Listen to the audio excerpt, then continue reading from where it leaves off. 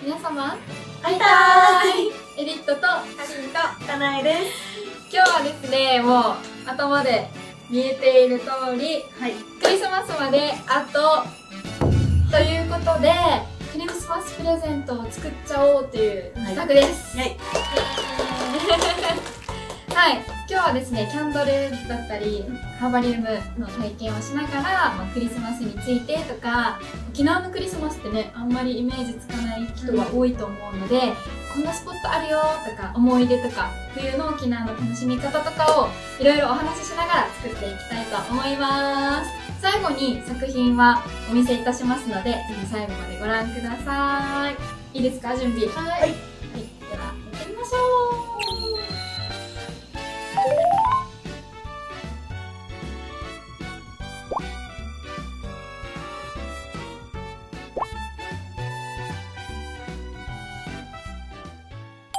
はい、それでは作りながらいろいろとクリスマスの話をしていきたいんですけど、はい、どんどん作っていきますが、はいはい、あのークリスマスって沖縄ってなかなかね、クリスマスのイメージがあんまりないなって思われてると思うんですよ。夏のイメージが強いので。雪降らないしね確かに 雪のクリスマスじゃないので、そういうところのイメージがつかないと思うので、それぞれね、なんかこのイルミネーション、ここがおすすめだよっていうのをちょっと聞いていきたいなと思います。はい、じゃあ、かりんから北部とかの。うん、私北部出身なので北部で言うとかぐちゃリゾートおすすめで。ホテルホテル。さんの、はい、ホテルのイルミネーションすごく綺麗で中に入らなくても入り口からすごくあの大きなツリー木が灯されていてすごくねこのクリスマス豪華な気分になります。確かにデートでね県内の方も行くことね、多いよね。私も、うん、小さい時から家族と一緒にいつも毎年行ってました。へー。じゃあ恒例の。そうそう、今年も行くはず。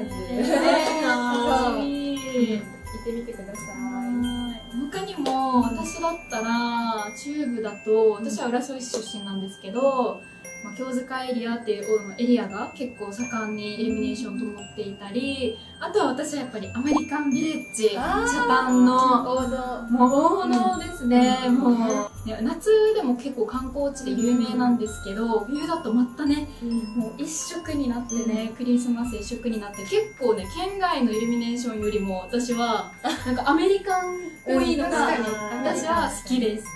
映えるので、うん。ぜひ冬の沖縄に来た時はアメリカンビレッジはもう外せない場所です。一年中さ、なんか、そうなんです。クリスマスみたいな。一年中クリスマスのお店。やってるやってる。クリスマスショップがあって、うんうんうん結構大きいので、うんうんあれがもう本領発揮する。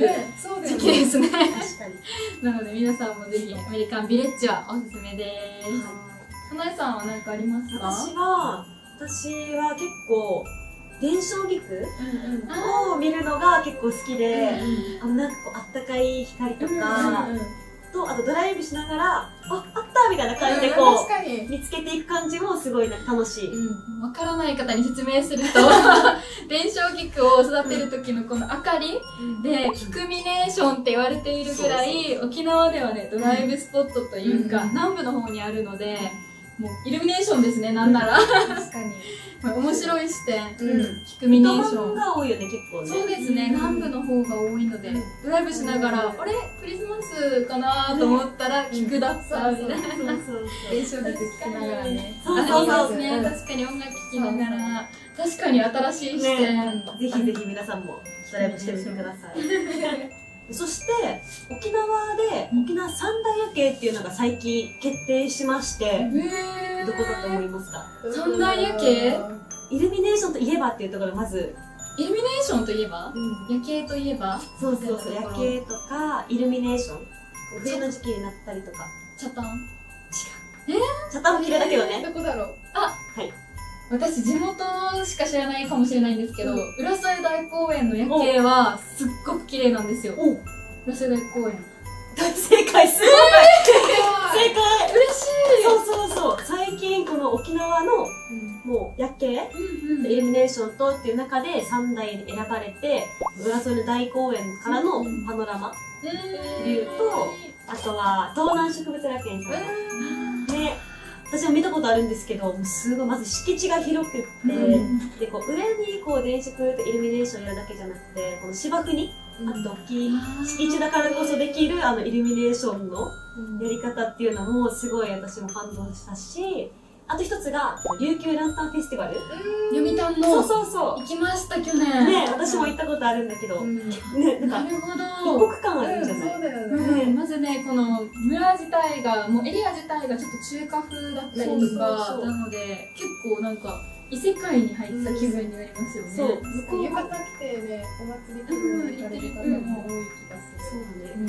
冬は結構この暖かいこの色と、このちょっとさっき言った中華チックなっていうか、琉球を感じるようなその琉球ランタンフェスティバルの会場がすごいなんか他の場所とまた違ったイルミネーションっていう感じの雰囲気と違ったところが見れるのでそこのこの3つが、そう沖縄三大夜景として選ばれたのでぜひまた沖縄来た際は、冬はまたイルミネーションとか夜景も楽しむことができるのでぜひ行ってみてください。確かに。面白い。いろんなところが出てきたのでね、冬の沖縄も楽しみいっぱいありますよっていうのを私たちからクリスマスでお伝えしましたじゃあ作りますか。はい。はい。作っていきます。そうですね、アジサイとかは枝がちょっとプルプルしてるので、かけてあげて、あとこの辺の茎がないやつはちょっとかけてあげて、刺してあげる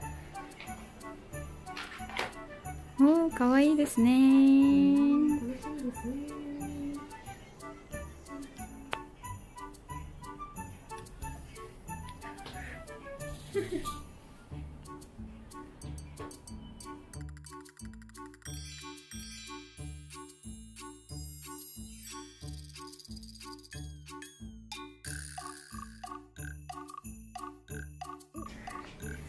かわいいで、真ん中が思ってるので、真ん中を押す感じで全部四方を取ったら、最初に四方を取って、真ん中をグッと押してみてください。